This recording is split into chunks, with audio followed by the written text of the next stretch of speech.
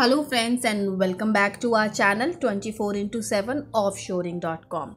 So friends today we have come up with a very interesting topic. So before starting the video I just wanted to request please subscribe to our channel.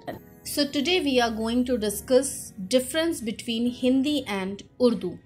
Hindi and Urdu are two Indo-Aryan dialects that both are created from Sanskrit in northern India starting approximately 2700 years prior. While both Hindi and Urdu exist in numerous vernaculars, there were no difference between Hindi and Urdu up to 19th century. Similarities and contrast. They both are the basically similar language. The fundamental contrast is the Urdu composed with the Arabic content, though Hindi is written in the content initially utilized for Sanskrit and Devanagari. Urdu has significantly more Persian and Arabic advanced words than Hindi, yet these are solely utilized in proper discourse and two dialects remain totally commonly comprehensible.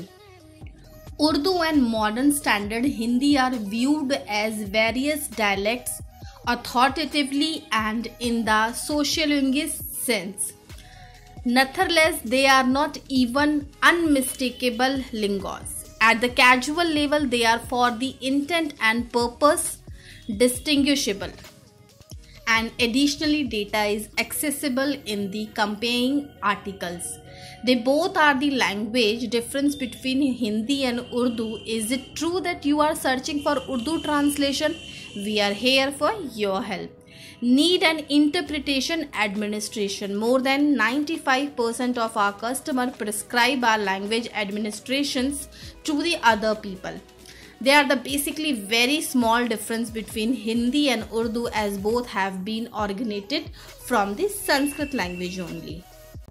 I hope guys you like today's video. If you like the video then don't forget to click on the subscribe button to subscribe our channel that is with the name of 24 into 7 offshoring.com and also you can visit to our company website again 24 into 7 offshoring.com till then guys do take care of yourself. Thanks for watching